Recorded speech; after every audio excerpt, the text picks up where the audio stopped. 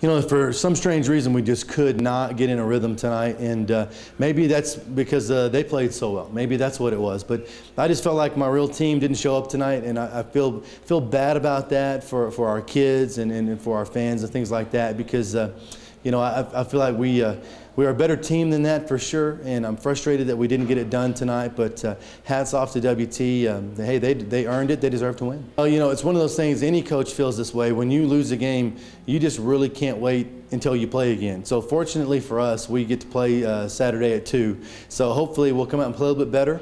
Um, I, I, think we're certainly capable of playing better than we did today. So I'm excited about the opportunity to play at two o'clock Saturday, and I'm excited about how our team will respond.